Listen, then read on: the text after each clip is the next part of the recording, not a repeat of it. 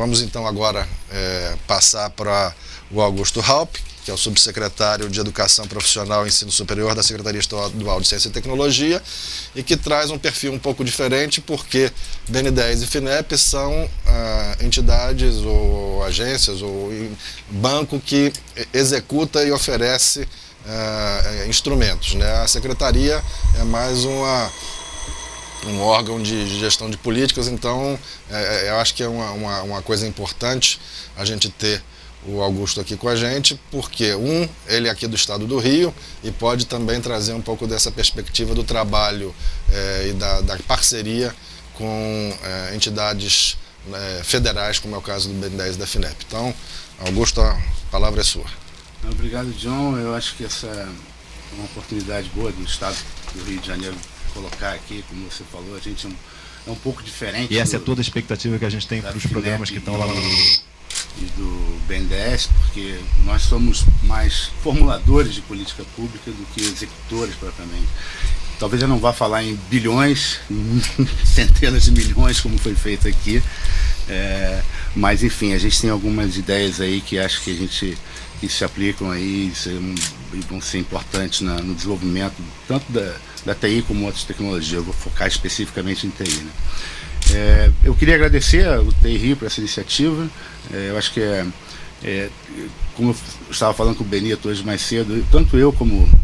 secretário Gustavo Tutuca somos da área de TI, então a gente tem uma, um carinho especial por esse, esse segmento. Né? Eu, é, eu poderia falar do, dos dos programas que a Secretaria atua através de suas vinculadas, principalmente a FAPERD, que é, o, é o, o, a agência de fomento aí de, de, de inovação aqui no, no, estado do Rio de Janeiro, mas isso aí é, já são programas que já, já estão, são regulares da FAPERD, todo ano acho que tem é, editais de, de PAP e de, de de reinovação e, do, e, e editais específicos para TI que atendem aí a, a, a necessidade da, das empresas do setor. É claro que num, numa escala um pouco menor do que o BNDES FNEP, porque como nós temos a limitação geográfica do estado do Rio de Janeiro. Mas eu acho que eu, é, eu, eu prefiro falar de programas que estão sendo formulados, em formulação dentro da secretaria, é, principalmente dois programas que eu vou destacar aqui, que é o um Startup Rio, que nós é, estamos desenvolvendo em parceria com a Prefeitura do, do Rio de Janeiro para estimular é, o surgimento de novas empresas de TI no estado. É, Startup Rio vai ser vai ser é, já está aprovado dentro do, do, da, da, da, FAPES, da um edital já aprovado, que a gente deve lançar até antes do, do antes de, de, junho, julho, antes do meio do ano a gente vai lançar esse programa. É, o Startup Rio está focado em, em, criação de novas empresas. Ele é, a gente chama, a gente costuma dizer que é um programa de pré-aceleração, porque existem muitas aceleradoras aqui no Rio de Janeiro, muitas aceleradoras até com é, sendo é, fomentadas aí pela, pela,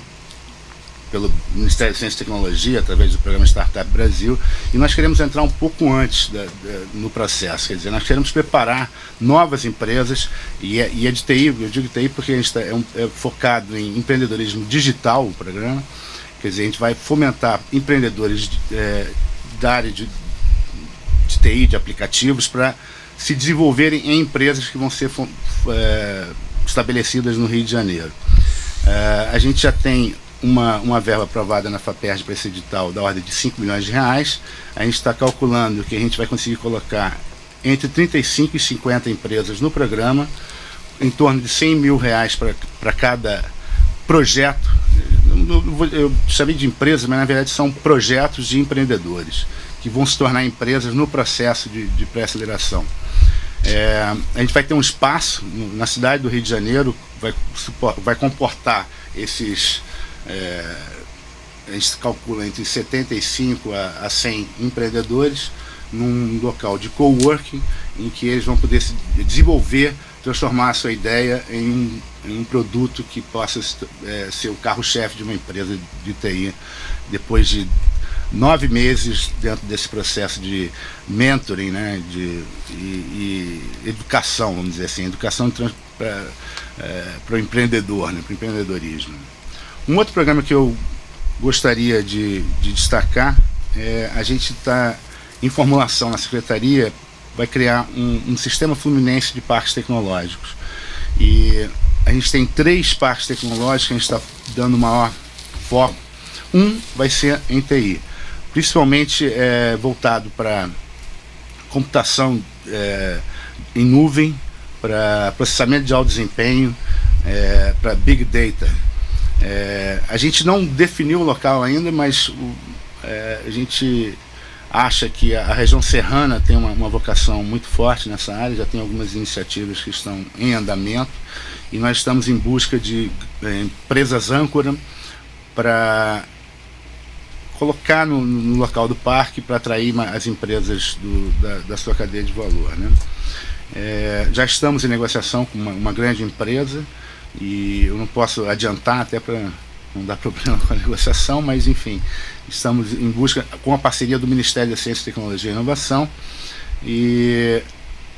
já, já temos lá na região de Petrópolis uma, uma, uma condição nessa, nessa é, uma, uma âncora, vamos dizer assim, acadêmica nessa área, que é o LNCC, também a, a, Universidade Católica, que tem programas nessa área, e também uma unidade FAETERG, que é a, da, da FAETEC, da, da, da, Fundação de Apoio à Escola Técnica do Rio de Janeiro, que é o, a,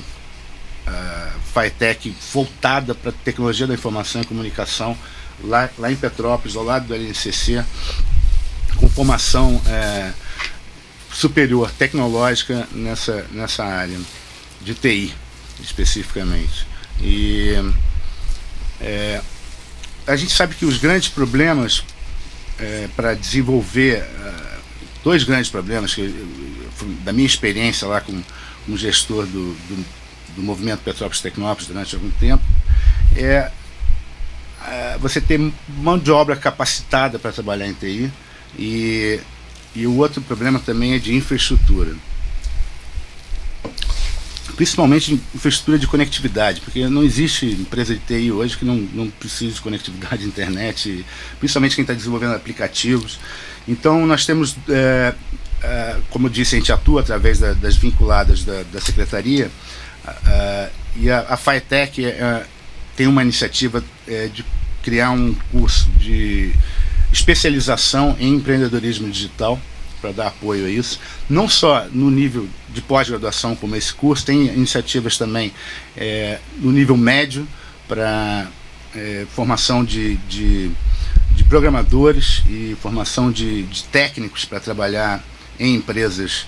é, em TI, né? E com isso, a gente, a gente espera atender a, a, demanda por mão de obra mais qualificada para esse setor, é, para esse setor de TI. E não só é, na cidade do Rio de Janeiro, como dentro do estado todo. É uma presença é, grande em todo o estado, em quase, em quase todos os municípios do Rio de Janeiro. E na questão de infraestrutura, como eu falei, uma das, das, das ações da, da secretaria é, é, principalmente conectividade internet, é a nova Rede Rio que a gente vai, deve inaugurar no começo do próximo semestre, que a gente é a maior rede é, metropolitana do, do país, com mais de 300 quilômetros de fibra lançada, é uma parceria com o Ministério de Ciência, Tecnologia e Inovação também, é, através da RNP, da Rede Nacional de Ensino e Pesquisa. Nós é, vamos ter uma, é, no backbone da, da, nova rede Rio 10 gigabits por segundo, atendendo uma demanda muito grande aí de, de, de, de empresas, de empresas que estão colocadas em, em incubadoras, startups e, acelera, e as, as startups que estão dentro de aceleradoras. E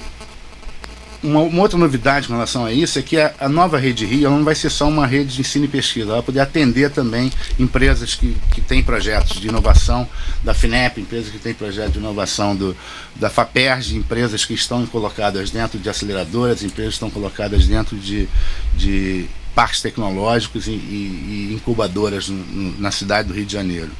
Então, é, a gente pretende com isso. Mitigar o problema de conectividade que uh, as empresas, principalmente empresas pequenas, não, não é, tem é, encontrado aqui no Rio de Janeiro. Acho que as operadoras não estão conseguindo atender as necessidades de conectividade do, da maneira que, que a, é, satisfaça a, as necessidades dessas empresas. E, e, é interessante que isso não é uma coisa notada só por nós, é uma coisa antiga. A própria Firjan acho que fez um, um projeto para estimular as, as operadoras a oferecer conectividade de melhor qualidade. A gente conversa com, com o mercado, o pessoal diz, não, eu, eu, pago o que for necessário, eu só preciso qualidade de, de, de conectividade e não, e não, está tendo. Então, a gente pretende com a nova, a nova rede Rio, que vai fazer a gestão desse, dessa rede metropolitana, parceria com a RNP, é, atender essas necessidades, principalmente empresas emergentes de, da, do setor de TI, é, que estão colocadas em aceleradoras, incubadoras, parques tecnológicos e, e também ah, as que têm, como eu falei, projetos de inovação. Né? É, basicamente é isso que a gente está trabalhando na área de TI, tem outros projetos que eu poderia falar, mas é, acho que vou deixar para o debate. Muito bom, obrigado pelas suas é, colocações. E fazendo jus ao, ao, ao, ditado que diz que os últimos serão os primeiros, acho que eu vou pegar um gancho da sua fala para começar a, a, a, comentar, que é justamente essa, essa, essa questão da infraestrutura, da, da, do acesso à banda larga, porque o que a gente tem visto é que é, o pessoal até comenta né, que essa nova geração aí dos nativos digitais, essa garotada que já nasceu com a internet existindo,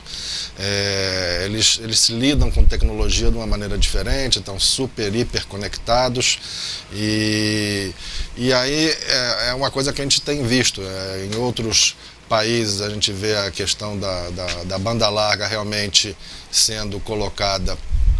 é, para a população em geral, e aí isso é importante. É claro que a gente ter os laboratórios das universidades é, com acesso a esse tipo de, de, conexão e as pequenas empresas é uma notícia é, excelente. Mas o fato é que o mercado consumidor das inovações que vão é, é surgir daí,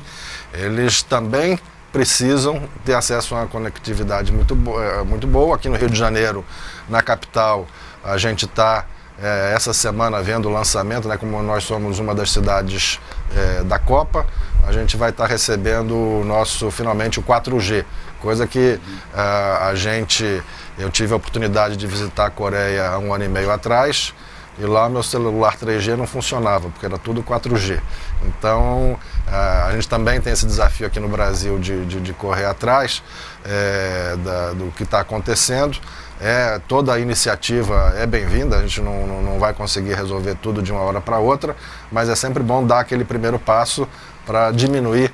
esse, esse gap.